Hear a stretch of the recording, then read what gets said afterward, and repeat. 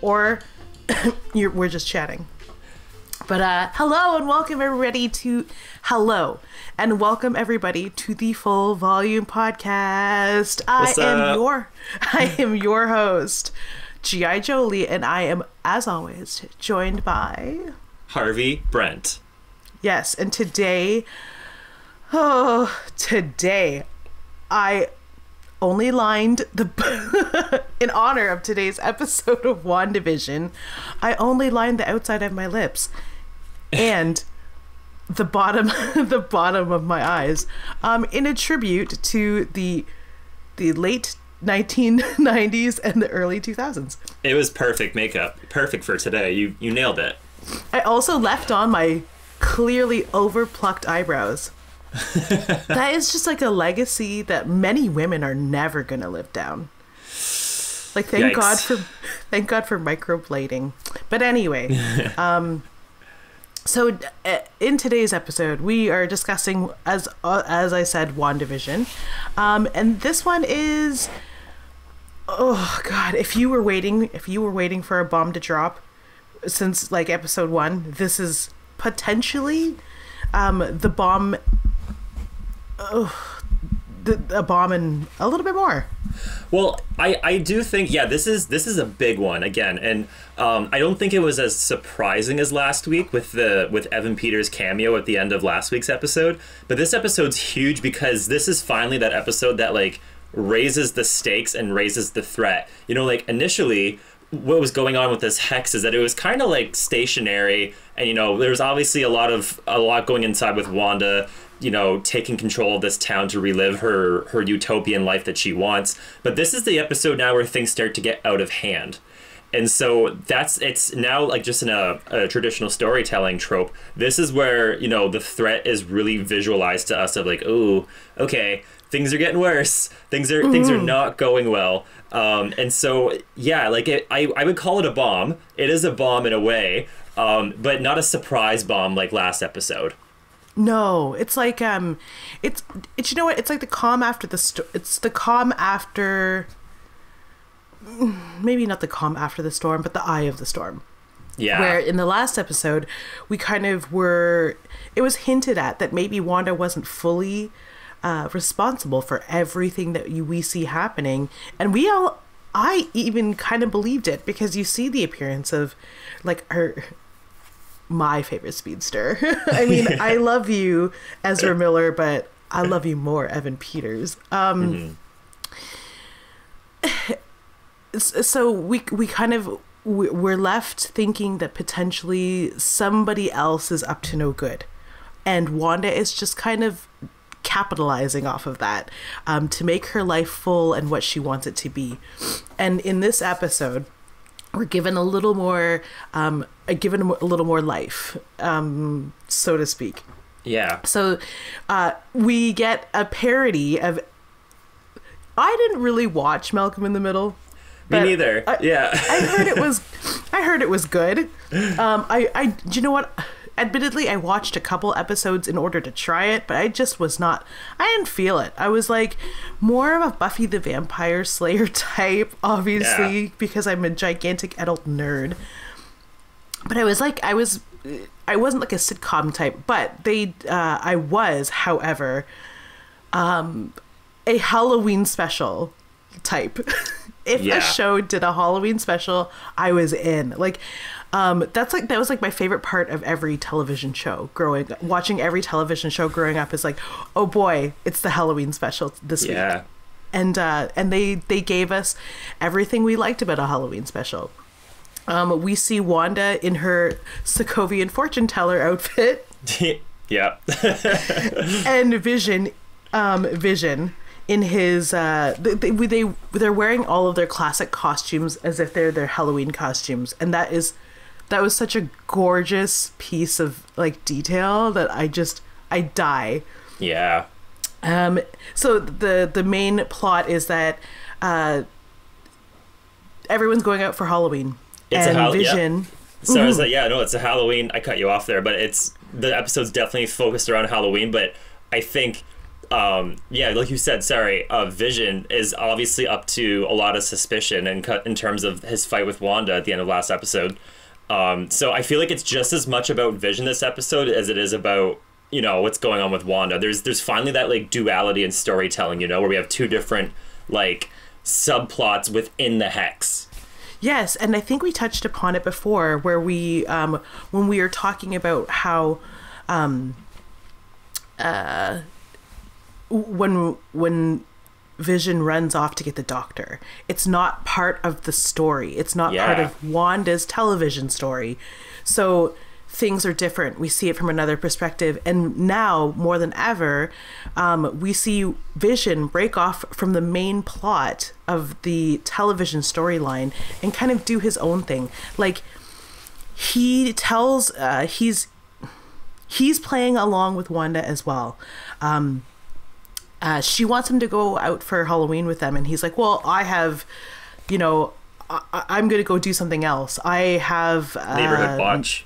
That's it. I have Yeah. neighborhood watch, and she's like, "Well, that's not what you're supposed to be doing."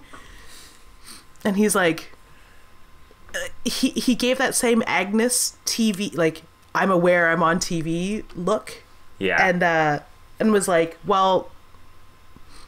Tough Yeah. I like that's just part of that's just part of living in this neighborhood and we find out later that uh in a really cute scene and every time they do a speedster scene with Evan Peters it's hilarious.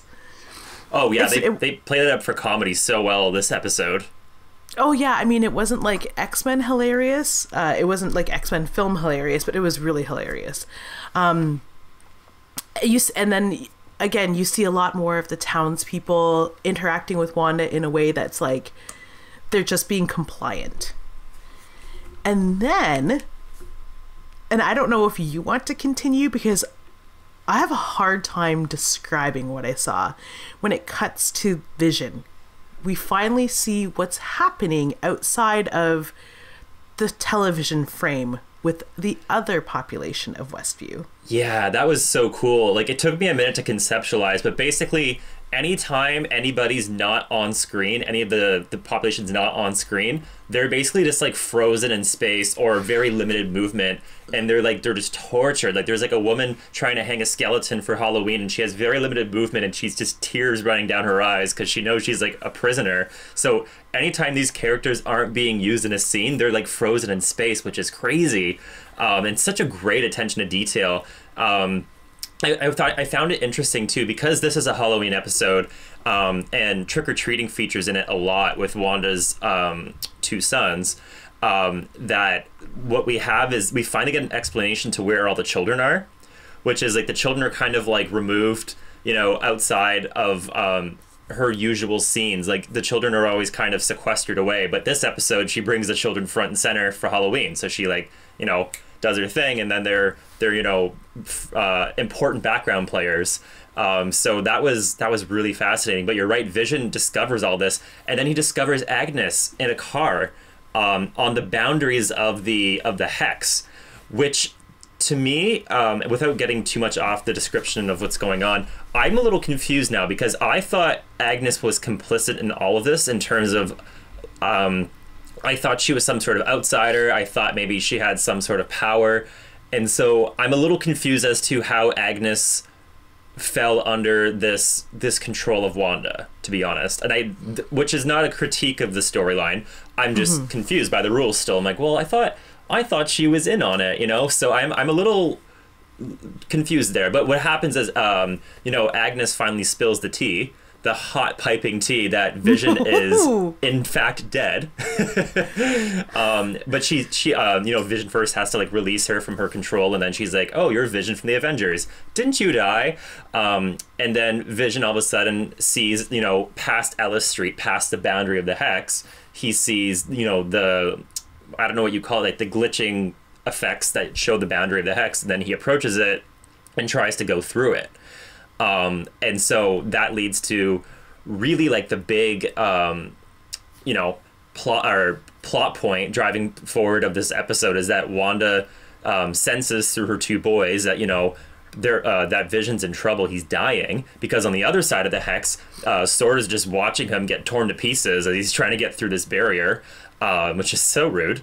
Um, and then, and then what um, Wanda does what she does, and she just expands the barrier, and then that you know consequently saves Vision. But that has profound effects in the surrounding areas as well. She increases that size of the hex, and now now I understand where all the budget went for this episode because all of a sudden you see all of these things turn into like these very like you know these fancy diners and these like merry-go-rounds and these uh, these circus items. I'm like, oh, that's where your budget went because they said every episode is 25 million, and I was like first like three or four episodes i was like that's really? That's 25 million these days? I know inflation's a problem but like come on.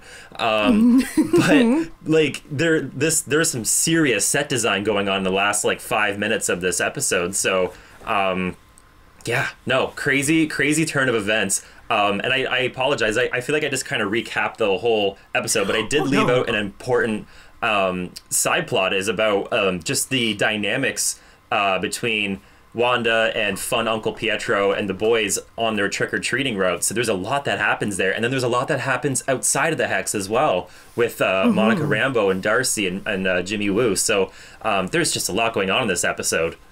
Yeah, and you know what? It's not it's not hard to follow or convoluted.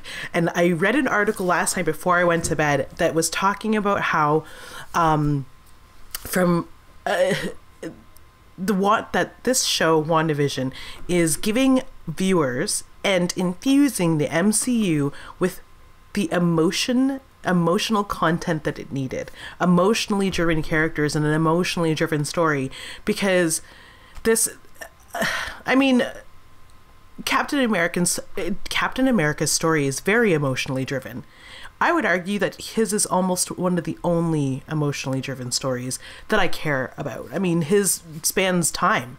Yeah. Um, his his love story and, and and all of that and the the end of his time as an Avenger but in this story itself it's like her love for Wanda's love for her children who Peter yells did you catch when he yelled and called them demon Demon spawn? spawns, yeah.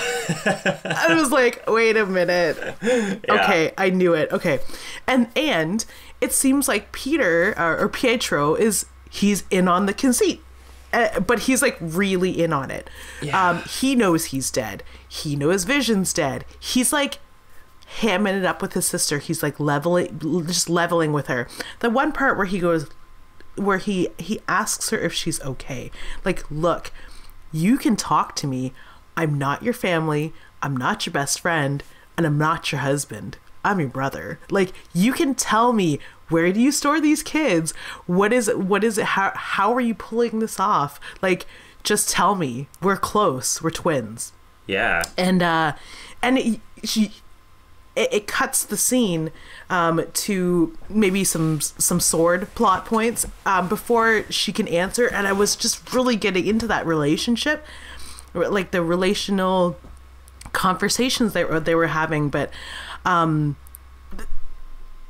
that I, I totally agree with the person who wrote all of those opinions is that these are the kinds of relationships um, that, that I would say all superheroes are missing. And as canceled as Joss Whedon is right now, when he started to write for the Avengers, he was putting that kind of character into his Avengers Yeah. and and it quickly got removed for more action and you know big fight scenes but um There's more vulnerability here. Yeah Yeah. The she becomes a character that like I want Wanda to win. I want Westview to suffer. I want her to be happy. I want to be there with her because I can see I can see and empathize now with the emptiness that she felt. And it's like, no, she's just, you know, she's just being selfish, which we should all be selfish a little, a little bit. But like, Yeah. Maybe not to the point where we capture a whole town and hold them hostage. I, I can't do that. I don't have those kinds of magic powers, but Yeah. I mean, we should all like we should all be able to we should all be able to speak to each other. I don't really know where I'm going with this, but there is an emotional there is something emotional driving this whole thing. It's grief. Um yeah. it's- yeah. Well, I was gonna say too. Like at one point, um, she says that she like after she lost everyone, she says in this episode um, that she felt just empty and like nothingness. I think she said, and so that I think that kind of drove home the the rationale for what she's doing as well as misguided as it is again. And we've talked about this in past episodes. Like this is just a real, you know, exaggerated superhero um, exercise in grief. I feel like, and so I, yeah, I, I get, I get, I love the gray, the gray area in this. I love that. You know, we, we're kind of rooting for Wanda, but at the same time, we know this is wrong. Like, it's a very interesting conversation to have. Um, And yeah, no, I, I don't know. I, it's, it's like going back to the vulnerability with Pietro and stuff too, though. I still don't fully know what to make of him, and I still feel like the questions that you and I talked about last episode with Mike, I still don't know where they're going to go with Pietro, as if he is actually Quicksilver from from the X Men universe, if he's a coincidental figment of her imagination, or if he is somebody, you know, that maybe an imposter. Like we don't, I still don't know what they're going to do with Quicksilver, but I, I also like that. Like I. I'm still not quite getting the answers I want in the time that I want. You know, like it's they're they're just giving me little little trails, little morsels to follow the trails. You know, so it's uh, oh man, this is this has been really cool. Um, another thing though, I think it's important to talk about is Monica Rambo this episode. Um, oh yeah. they have started to hint that something is happening to Miss Rambo, um, which is that because she's On a she's been molecular level. on a molecular level yeah and so i i noticed yeah darcy says your cells are mutating and then i got to thinking just about i mean for people that again that that um, are privy to the comics wanda is famously associated with a very um, famous arc called the house of m where she depowers all of the mutants in the world in the mcu we don't have mutants what if this is a reverse House of M, where people that are in that Westview radius, you know, in that hex, they're mutating their cells, and she's creating mutants in this universe? Has anybody talked about that? Have we have we had that conversation? Because that makes sense. we have not. We have not had that conversation, but that would um not only one in my mind I'm just assuming mutants live in the MCU and they we're just not talking about them. But it would be fan effing tastic if she if she were to birth give birth to all kinds of mutants would that wouldn't that be just the legacy her her actual father um craved wanted yeah, totally. like so we're being introduced to this idea that things can be changed or changed to suit Wanda's reality. So now that we see that the hex is expanded, we didn't really go into detail about was what was happening with Jimmy Darcy and Monica, but they the three of them really quickly to recap have been ousted. Um, they have been mm, banished from Yeah. the sword encampment uh, for being too sympathetic to Wanda. Um, for, you know, not wanting Sword to shoot her up and kill her. Because who knows what that would do? I don't know. An, uh, how about another terraforming, like, sort of a mass ex- extinction effect? Like, you saw what happened to her in Sokovia. You know what happened to her. And you're going to shoot at her? Like, you're gonna take all of her things away again? I don't think so. no, no. So, um, so they actually sneak back into so they sneak back into the sword encampment to to glean more information, and they find I think his name is Hampton, the evil sword agent who's bent on killing. Yeah. Is his name Hampton? Uh, it's something with an H, and it's really gonna bother me. I apologize, listeners. I I don't think it's Hampton, and it's not Hanson. Hart. That's not Hartford. Ha- we'll figure it out. We'll put it. We'll put it later. Motherfucker's evil. So anyway, um, they they hack. Darcy's able to hack into the little computer system, um, and find out that they've been. He has privately been tracking Vision, his uh, decaying vibranium is that they they have the ability to track it, and they've been tracking or keeping tabs on Vision, uh, which allows them, the three of them, conveniently to see that the Vision is heading towards an exit Yeah. to the hex, and Darcy, of all people, runs to the front and is like, "He's dying. Don't you understand?" Like she sees him coming through. They all see him coming through, and they all have hazmat suits on, which tells me that they're they have something bigger brewing. They have something planned that's crazy.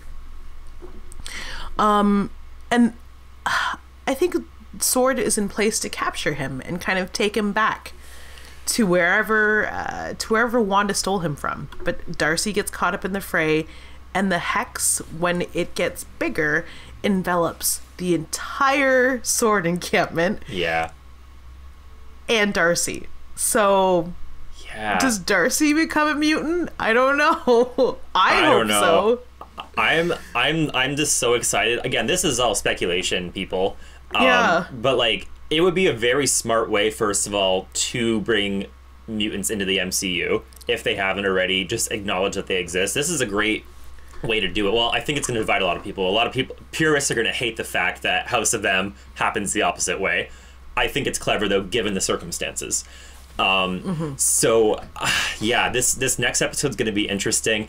I did want to touch on um, something that, again, because we're talking about Wanda's motives and Pietro's motives, everybody's motives. Which again, I'm not even sure. The only person I'm sure on the, at this point is Wanda. Everybody else's motives, I'm I'm very unclear on.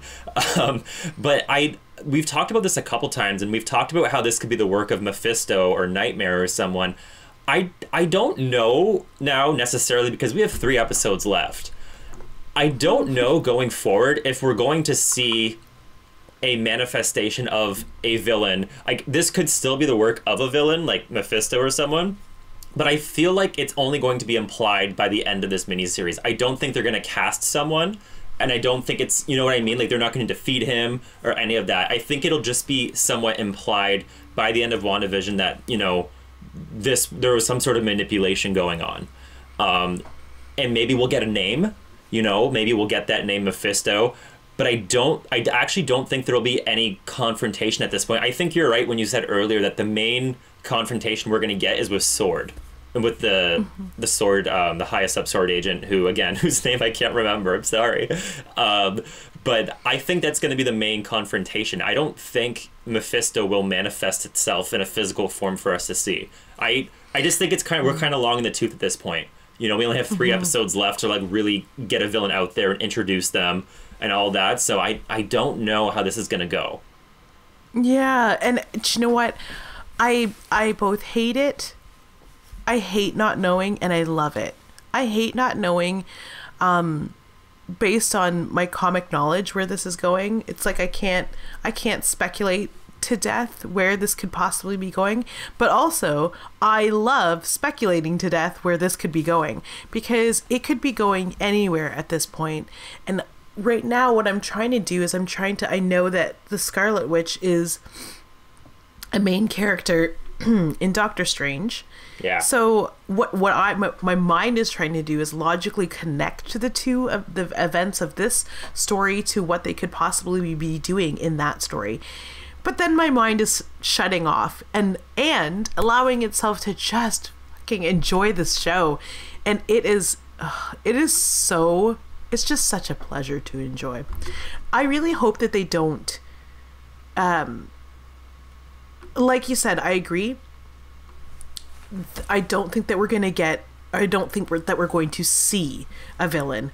Um, I think we're going to get just just a soupçon of a villain at the Yeah. end, and then um, and then we're going to be left hanging, which is fine with me. I don't want them to take the boys away. I love that we have a little Wiccan and A little speedster. yeah, Yeah. it's so cute. and I really, I really, really hope that somehow Vision and Pietro make it through this. Yeah, that's that's really interesting too. Like I Vision, I logically I could see them carrying forward in some form. I don't know what they're going to do with Pietro though again because we don't have those answers yet. I'm like I still don't know if he's an imposter. Like what the heck is he? Is he truly Mm-hmm. like he he claims to be Aaron Taylor Johnson though because he said he was shot up on the street, which is what happened to Aaron Taylor Johnson's Quicksilver in um, Age of Ultron. So that's that's what I'm just like I'm racking my brain like he's he's not claiming to be from the X-Men universe. So what is he? Like, you know, or did, did Wanda give the X-Men universe's Pietro Aaron Taylor Johnson's memories? Like, it's just, I don't know where they're going with it. And again, I'm pleased with that, but I'm also like, it's driving me crazy. Oh yeah, and like um, I think they tried to maybe, may, and maybe the answer is much simpler than we all hope or want it to be, because in that conversation they were having together, sh- where she's like quizzing him to see if she's like, "You don't trust me still, do you? Of course you don't think I'm real, but you brought me here. Of course I'm real. Like I'm as real as you want me to be. Yeah. I heard your voice. I knew you needed me, and here I am." and it's it's it's going to be depressing if just like vision she's just resurrected these people uh, t- to be part of her her conceit and her story but it's going to be really awesome if somehow she has the powers of resurrection because I, I want more of these characters. I want Paul Bettany and I want Evan Peters back. Um, oh, yes, I do. Yeah. yeah, because he was like, he was like, well, what happened to your accent? Well, what happened to your accent? Like, Yeah, like, it's just.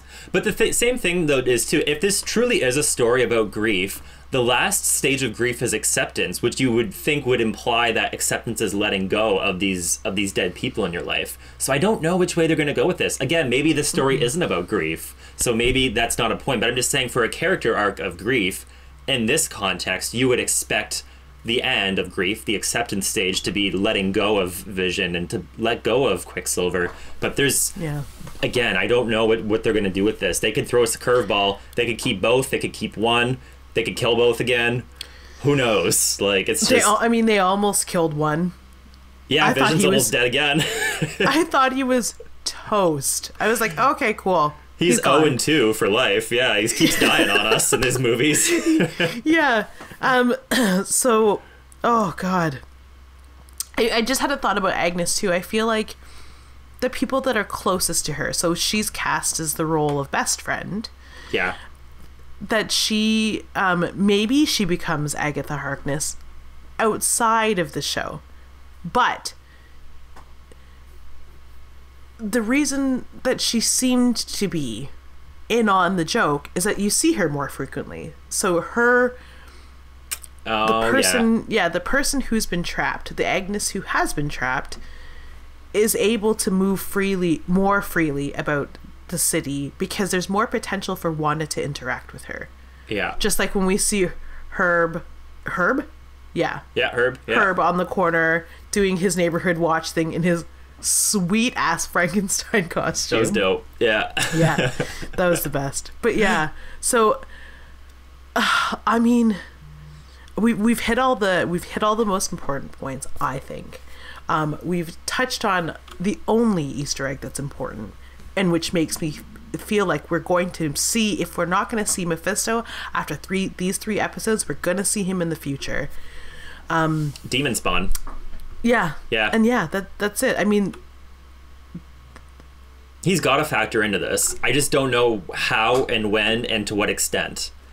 Mm-hmm. That's there's there's so many questions still, but again, we're liking this for for the people that are listening and watching this. We're liking that it's not treating us like a, a typical dumb audience. Like it's making us work for it. It's making us think about it. It's layered, and uh, this again, like we haven't really had the opportunity to do that with Marvel movies uh, because of their format. But now that we're getting these these mini series, we let these these observations breathe. You know, we let this these plot points breathe, and it's it's it's worked out in spades. Like this has just been such a dope ride for the past like six episodes. Yeah, and I mean, like, I can't, I, I can't say whether or not we'll be reviewing the Falcon and the Winter Soldier. we, we could. I'm not as enthusiastic about it, but maybe No. who will see. I mean, I, I did see they're bringing back Daniel Bruhl, which you know I'm into that. Yes, please. oh, sorry. I'm just. Yeah. If it's not Evan Peters, it is Daniel Bruhl. Holy Yeah. crap. anyway, I mean, I'm a huge Tarantino fan. Oh yeah. And uh, his character in Inglourious Basterds, jeepers. Anyway, yeah.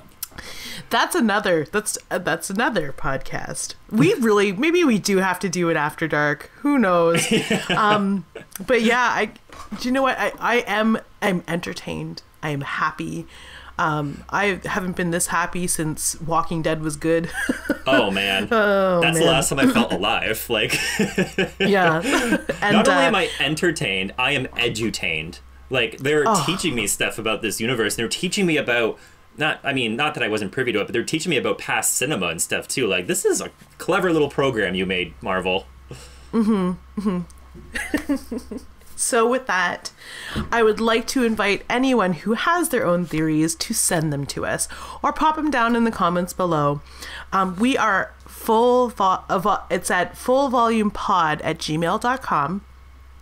Um, nothing yet, but I anticipate anger soon. Um, we've only we're only two episodes deep in the real online world, but uh, yes, send us uh, send us love letters. It is Valentine's Day as we're filming this. After all, We could use the send love. us. Yeah. Oh, I mean, come on. Um, this uh, they they just lifted our lockdown, so we could really use the love. Yeah. Um, uh, you can follow us on uh, online on Twitter uh, by tweeting at Comic Syndicate hashtag full, full volume pod, uh, and you can catch more episodes of this and other comic book syndicate shows and other comic book syndicate podcasts at www.comicbooksyndicate.com but for now i have been your host G.I. Jolie and I've been Harvey Brent. as he always will be. And we will see you on the next episode. Keep it loud. Happy V Day, folks.